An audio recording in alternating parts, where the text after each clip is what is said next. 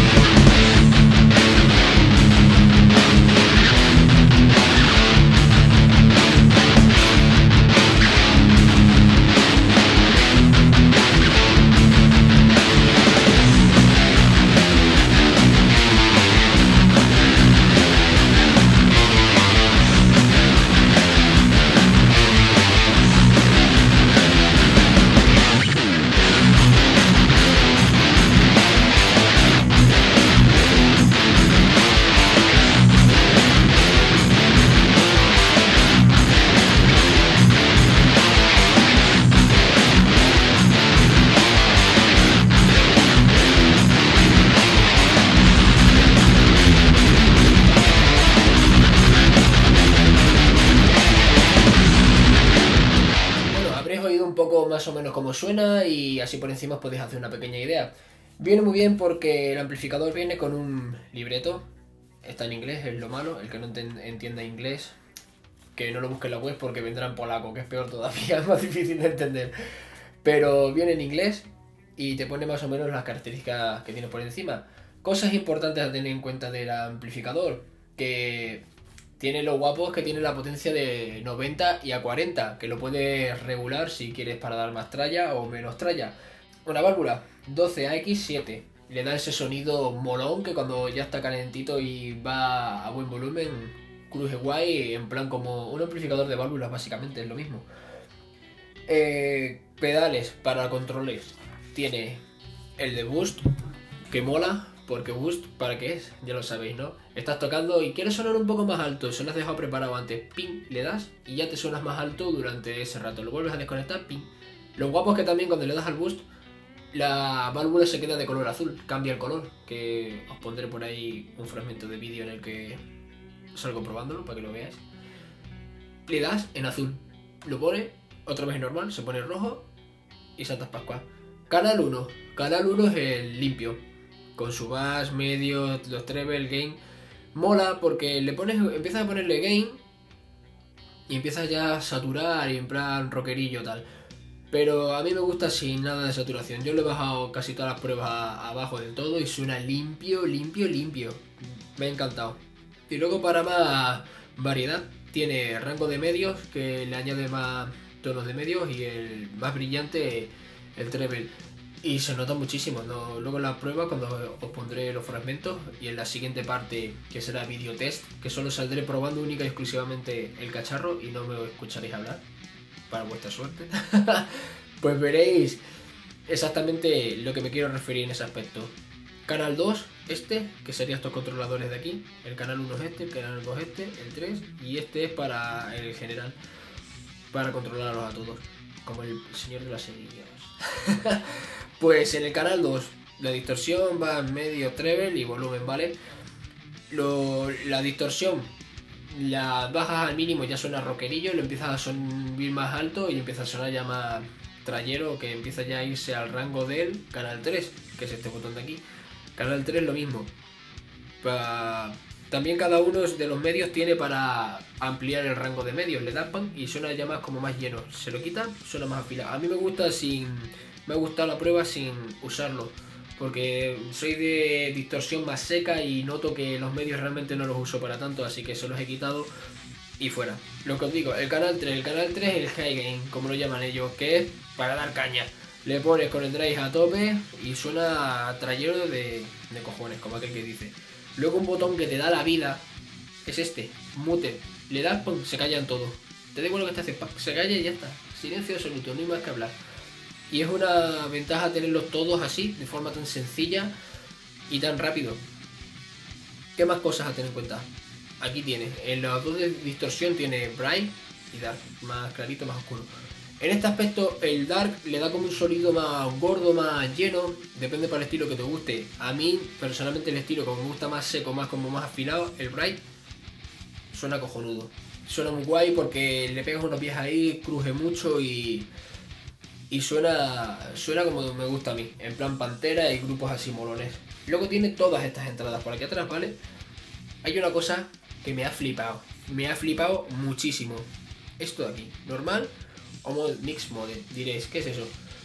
Normal, normal es que puedes usar el canal 3, el canal 2, el canal 1 y ya sabes, lo tienes que ir como canal limpio, canal overdrive y canal distorsión, ¿vale? Por el Mix Mode se activan todos los canales al mismo tiempo, están todos sonando al mismo tiempo. No puedes cambiarlo porque no se pueden apagar ni encender, pero si tú los tienes de, ajustados antes, Puedes, por ejemplo, decir, quiero que la distorsión suene a tope, suene un poco menos el overdrive y suene más el limpio. Y está todo sonando al mismo tiempo y hace unos sonidos más raros y más curiosos. Mola muchísimo. Aparte, mi colega Diego Di Romain me dijo en su momento que Dimebag en los solos usaba un amplificador que estaba dando distorsión a tope y otro amplificador estaba dando limpios. Y es una sensación que se puede conseguir con este amplificador, porque lo hace, se activa todo al mismo tiempo. Luego ya sabes lo típico, si lo quieres desactivar, la palanquita que tiene aquí, ping, y el modo normal se vuelve a activar y no hay más problema. Luego las entradas de los cabezales, las salidas y lo que te apetezca. Luego también tienes aquí, por si claro, yo esto lo bueno que tiene este amplificador, claro lo que voy a decir, es que no hace falta etapa de poder. Bueno, claro, puede ser como en plan rack, porque parece un rack, pero no es un rack, porque es lo puedes conectar al ordenador por una entrada de audio normal, la típica tarjeta externa. Y puedes directamente ir a tu local, lo pones encima de tu pantalla, le pones el cable y funciona directamente. Es una pasada ese aspecto. Y en ese aspecto tienes estas dos entradas por si lo tienes encima de tu pantalla. De aquí sacas las salidas para los pedales. Tendrás que controlar esto si no lo tienes arriba para no tenerlo en el suelo. Dos entradas tiene aquí. Una pasada. Y la entrada de línea. Línea, bueno, la salida en todo caso. Que lo que hace es para poder conectarse al ordenador o donde lo quieras conectar tú sin que, sin que te la cargues, evidentemente. Ya viene diseñado para ese fin. Lo guapo es lo que dicen ellos, que la salida externa simula un Celestion Vintage 30. Suena guapísimo. Yo me he grabado todo, lo he grabado así porque no he podido conseguir la pantalla. La pedí a un supuesto amigo que no me la dejó porque no dijo nada, el cabrón. Pero no la ha podido probar con pantalla. La he tenido que probar con entrada de, de tarjeta de sonido y lo que vais a escuchar es lo que hay. Suena de esa manera. ¿Qué más cosas tiene el amplificador que se me esté saltando? Pues bueno, tiene el boost que ya os lo he contado, puerta de ruido puerta de ruido mola muchísimo porque si sabes que si te empiezas a flipar con las distorsiones y demás, ya tiene la puerta de ruido integrada. Que eso es una otra ventaja más porque es otro pedal que no te tienes que comprar.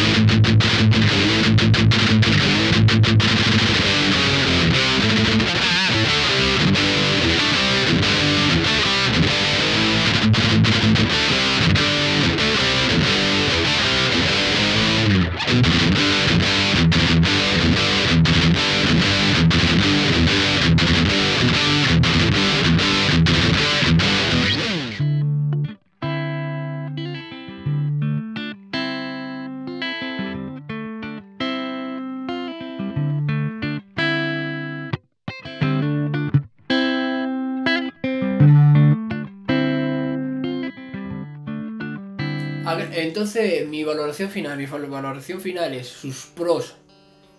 Pesa poco, mira, lo tengo en una mano. Tú tengo una pantalla así en una mano. Imposible. Te lo puedes llevar.